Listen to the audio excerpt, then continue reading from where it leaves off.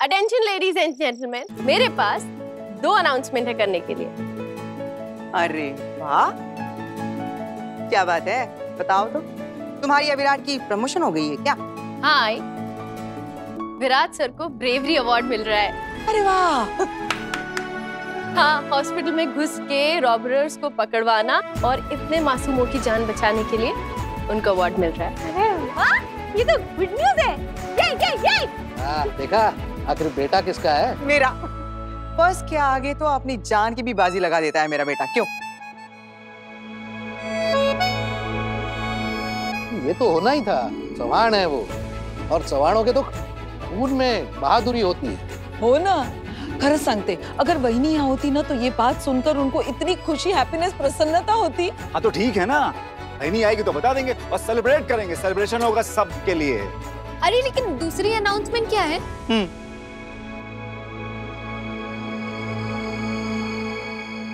पाखी दीदी की प्रेगनेंसी अनस्टेबल है। उसमें दिक्कतें आ सकती है।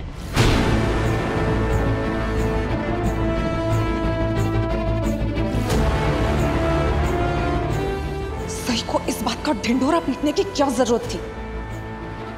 पाखी दीदी सोच रही होंगी कि मैंने ये बात सबको क्यों बताई? क्या ज़रूरत थी? है ना पाखी दीदी?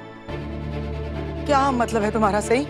प्रेगनेंसी अनस्टेबल कुछ दिक्कत है क्या? और सही ये तुझे कैसे पता चला? डॉक्टर ने पत्र लिखा था चेकअप करके तुझे कुछ बताया क्या?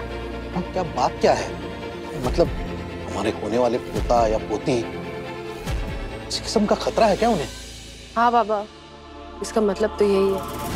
ये पाखी दीदी ने मेरे हॉस्पिटल में चेकअप कराया था। उसकी रिपोर्ट है।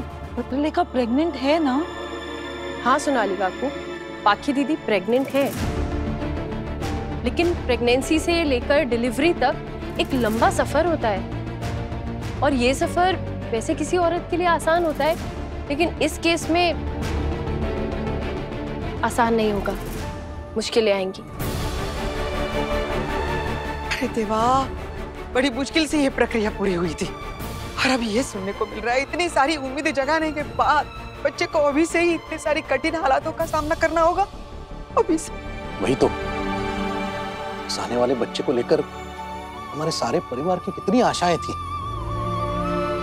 पुलकित सब ठीक तो हो जाएगा ना? काका ऐसा कई बार होता है। आप प्लीज़ टेंशन मत लीजिए। प्रक्रिया में कोई गड़बड़ हो गई है क्या? वैसे सही रिपोर्ट में एग्जैक्टली exactly है क्या? कुछ गड़बड़ है क्या? गड़बड़ तो हुई है लेकिन प्रक्रिया में नहीं बल्कि प्रक्रिया के लिए औरत चुनने।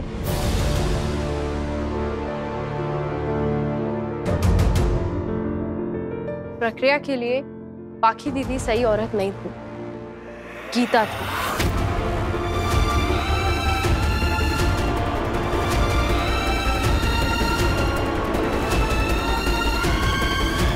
बस बहुत हो गया सही।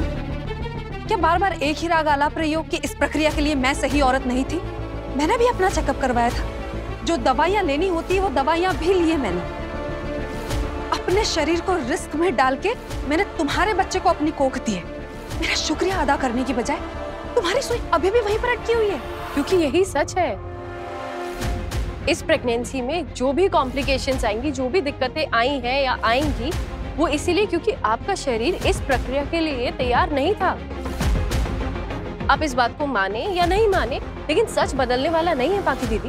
तुम ऐसा कैसे कह सकती हो कि सारी दिक्कतें मेरी वजह से ही आई हैं? मैं तो कह रही हूँ कि मेरी प्रेगनेंसी बिल्कुल भी अनस्टेबल नहीं है। मेरे पेट में बच्चा है और मुझे एकदम स्वस्थ महसूस हो रहा है। मुझे कोई प्रॉब्लम फील नहीं हो रही। तो क्या ये रिपोर्ट्स गलत है?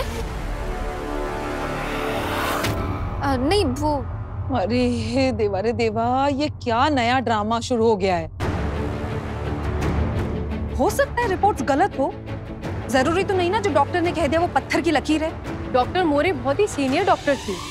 हाँ तो? हाँ तो मतलब? डॉक्टर गलत भी तो हो सकती है ना? बदकिस्मती से वो डॉक्टर अब इस दुनिया में नहीं रही वरना हम उनसे दोबारा पूछ लेते और मैं दावे के साथ कह सकती हूँ डॉक्टर की रिपोर्ट बिल्कुल ठीक है। इसलिए प्लीज़ आप ये फालतू की बहस मत कीजिए मुझसे। मैं तुमसे बहस कर रही हूँ सही कि तुम मुझसे बहस कर रही हो? मैं तो कह रही हूँ कि ये रिपोर्ट्स गलत है और मेरी प्रेगनेंसी में कोई प्रॉब्लम नहीं। लेकिन नहीं तुम्हें तो बस अपना पॉइंट प्रूव करना होता है है ना? ठीक है। तो हम लोग सेकंड ओपिनियन ले लेते हैं। जिस डॉक्टर के पास जिस हॉस्पिटल में आप चलने के लिए कहेंगे वहीं चलते चलिए बताइए कहाँ जाना है? किस हॉस्पिटल में जाना है? मैं कहीं नहीं जाऊँगी। तो फिर आप मानती है ना कि ये रिपोर्ट सही है? तो मुझसे बहस मत कीजिए बल्कि अपना सारा ध्यान इस बच्चे को सही सलामत इस दुनिया में लाने में लगा दीजिए। और उसके लिए आपको बिल्कुल वैसा ही करना होगा जैसा मैं आपको करने के लिए कहूँगी। आपका सोना आपका जगना आप क्या खाएँगी क्या नहीं खाएँगी सब कुछ मैं आपको बोलूँगी। क्यों? मैं तुम्हारी गुलाम हूँ? जैसा कि मैंने पहले आपको कहा आप मेरी गुलाम नहीं है आप मेरी नौकर नहीं है लेकिन आपके पेट में मेरा बच्चा है। और इस बच्चे की माँ आपको जो करने के लिए कहेगी आपको वो करना होगा। मैं नहीं मानूँगी। क्या? मैं नहीं मानूँगी और मैं नहीं चलूँगी तुम्हारे कहने पे। मैं प्रेग्नेंट हूँ और ये कॉमन सेंस की बात है कि एक प्रेग्नेंट लेडी को क्या करना चाहिए और क्या नहीं। तुम खुद तो माँ नहीं बन सकती। तुम मुझे ज्ञान दोगी कि पेट में बच्चों को कैसे पालना है, कैसे नहीं।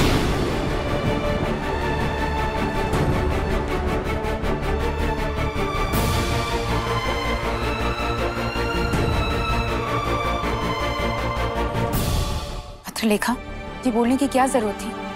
सही माँ नहीं बन सकती लेकिन सही एक डॉक्टर तो है ना? और ये हम सबसे ज़्यादा जानती है।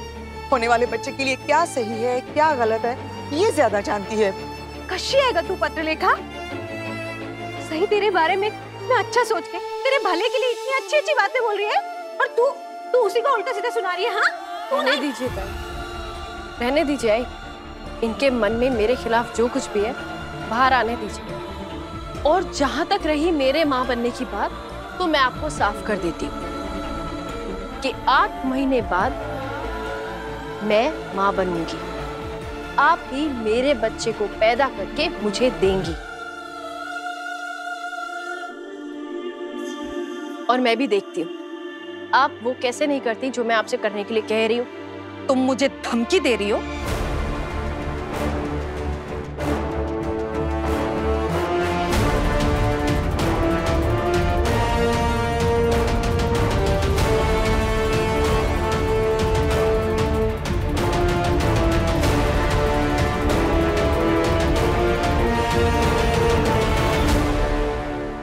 चेतावनी दे रही हूँ। पानी पी लीजिए, शांत हो जाइए।